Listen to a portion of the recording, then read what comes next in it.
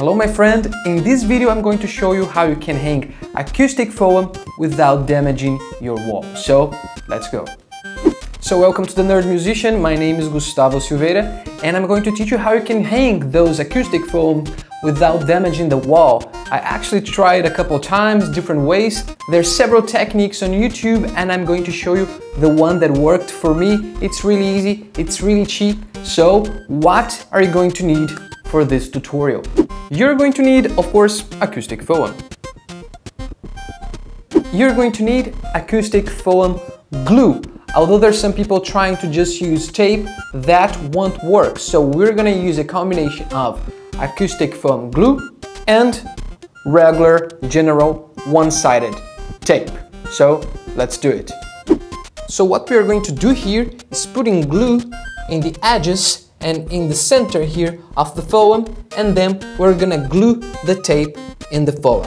A great tip to put the glue in the foam is doing this movement here so it sticks to the foam.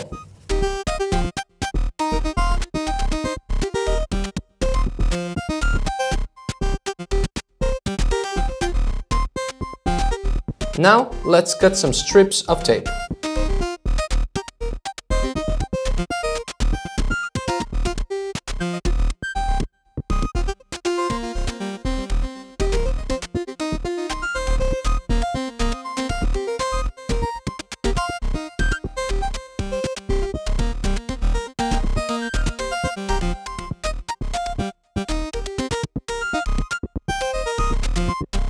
It's not the best gluing job that you ever saw, but it's gonna be effective.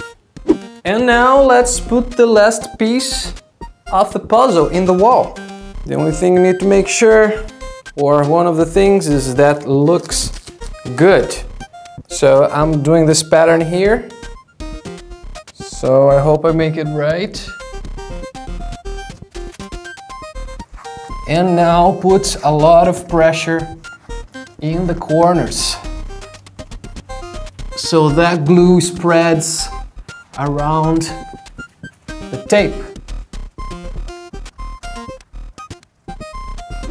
So guys, this is a really effective way of mounting your foam without damaging your wall. So if you're starting your YouTube channel or your home studio, I have some videos down for you. I have a link of a video that I did where I show you how you can use a microphone like this one that I'm using here without an audio interface. So check there and please give a like, help me with the YouTube algorithms. That's the only thing I'm asking you here and subscribe if you didn't do yet. So see you later.